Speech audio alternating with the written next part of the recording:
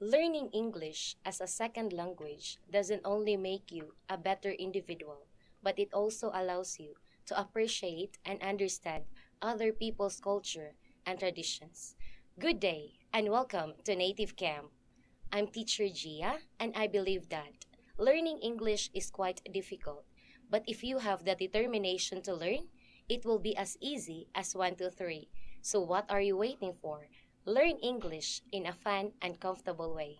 Hope to see you in my class. Bye!